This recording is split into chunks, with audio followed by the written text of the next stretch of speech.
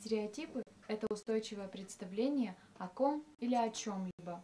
Стереотипы человек создает себе сам или для него создает кто-то. Но также стереотипы вредны тем, что они сбивают человека с истинного пути.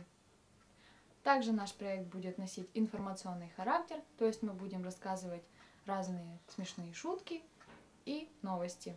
Оставайтесь с нами. Всего доброго. С вами Steam TV.